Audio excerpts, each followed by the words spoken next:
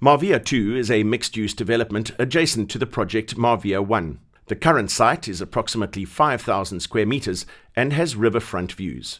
There is a pre approved plan for the construction of around 15,000 square metres of gross construction area.